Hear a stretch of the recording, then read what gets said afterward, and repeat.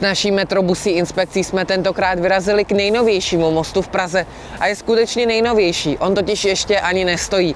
Řeč je samozřejmě o Dvoreckém mostě.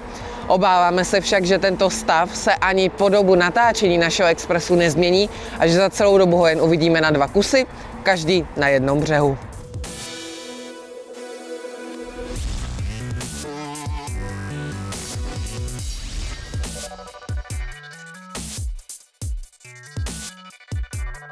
Nepříznivá finanční situace belgické firmy Van Hool vyvrcholila krachem. Nejen rodinné spory v rodině Van Hoolů dospěly do situace, které již společnost nezvládla vyřešit vlastními silami. Firma do svého čela dokonce povolala krizového manažera Marka Cvánevelda, který měl za úkol najít strategického obchodního partnera. To se ale nezdařilo a schodek rozpočtu výrobce dopravní techniky, kvůli kterému musela za firmu ručit i vlámská vláda, se vyšpla až na 34 milionů eur, tedy zhruba 865 milionů korun. Části firmy si nyní rozdělí společnosti VDL a Schmitz Cargobull, a to i se zaměstnanci, i když z původního počtu 2,5 tisíců zbyde zhruba 750. Soutěž rozhodla jasně. Městskou i příměstskou autobusovou dopravu na Jihlavsku přebírá po společnosti ICOM dopravce ČSAD autobusy České Budějovice. Celkem 49 bezbariérových autobusů najde na Jihlavsku 3,5 milionu kilometrů ročně. Podle smlouvy musí maximální stáří vozů činit nejvýše 7 let. Dále nové vozy nabídnou klimatizaci, Wi-Fi či audiovizuální informační systém pro cestující.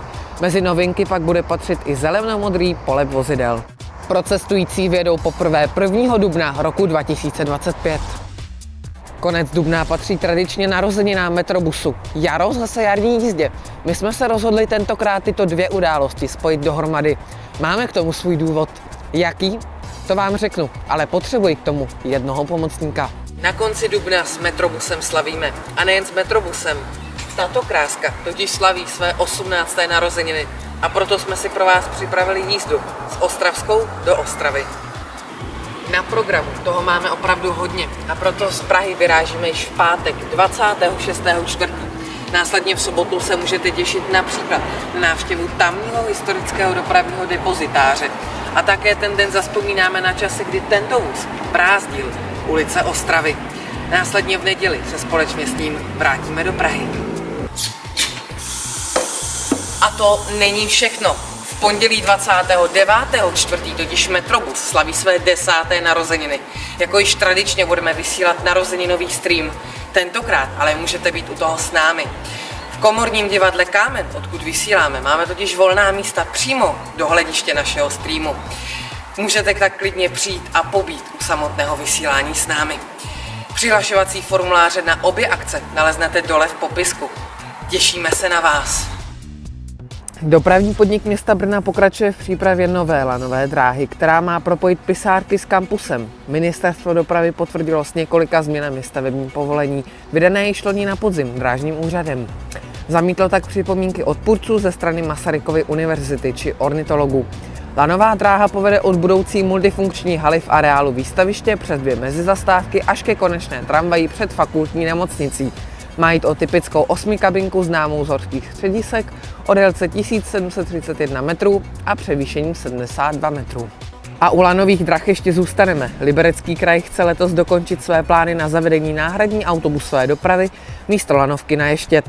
O jejím zavedení mluví současná krajská vláda dva roky. Důvodem je snaha o pokles stavu individuální dopravy na Ještět, která po incidentu z října roku 2021 výrazně stoupla. Autobusová linka má vést od konečné tramvají v Horním Hanichově až na parkoviště v Sedle. Do provozu má být uvedena v červnu letošního roku. V minulém expresu jsme zmínili nasazení nových vlaků v Dolním Sasku. Připojují se ale i další spolkové země. Provozní soubor Ortenau na jeho západě Německa ve spolkové zemi Bádensko-Württembersko se stal prvním, kde začaly jezdit nové elektrické bateriové jednotky Siemens Mireo Plus B s cestujícími. Postupně nahradí dýzlové vlaky. Tamnější vláda si od této investice slibuje dopravu šetrnější ke klimatu a lepší služby pro cestující. Nové jednotky zvládnou na jedno nabití dojet na baterie až 120 km. Jejich vývoj probíhal i na českých kolejích. Pražské hlavní nádraží otevřelo cestujícím přímo překotnou změnu. Několik let po rozšíření tzv. chodníčku smrti na magistrále došlo k otevření legálního přístupu na něj. A vzhledem k tomu, jak jsou byrokratické procesy v Česku zdlouhavé, je potřeba otevření této doslova díry v plotě řádně oslavit. Samozřejmě i se slavnostním přestřiháváním pásky a účastí nejvyšších představitelů příslušných institutů. A překotným tempem probíhá i vývoj nové pražské tramvaje Škoda Forcity Plus 52T. Nyní došlo na její vizuální stránku. Změna z původního stavu je na první pohled vidět. Nám nezbývá nic jiného, než doufat, že se postupem času dostane i na závažnější problémy, kvůli kterým tramvaj dokonce nesplňuje standardy kvality pražské integrované dopravy. Ukrajinské dráhy začaly stavět standardně rozchodnou trať z Čopu do Užhorodu ve stejné trase, jako vede současná trať široko rozchodná. Umožnilo by to vedení vlaků ze Slovenska a Maďarska právě do hlavního města Zakarpatské oblasti. V další etapě by mělo dojít také k elektrizaci a v budoucnu je zájem i o prodloužení až do Lvova. Dopravní podnik hlavního města Prahy poptává skákací hrady ve tvarech tramvaje 15. autobusu Streetway 18M a metra M1. Světlo světa mohou spatřit již v červnu.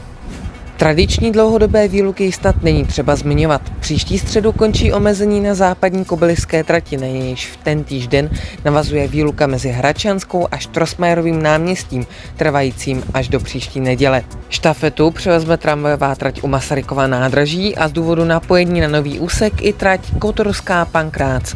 Při městské dopravě pak dojde k uzavření mostu ve Štěchovicích či tradičním nočním výlukám mezi Prahou a Milovicemi. A to už je z naší další metrobusí inspekci všechno. Ještě jednou připomínám dnes zmíněné akce. Blížší informace k ním i s přihlašovacími formuláři naleznete dole v popisku videa. My se na vás těšíme buď na nich, nebo u dalšího Expressu.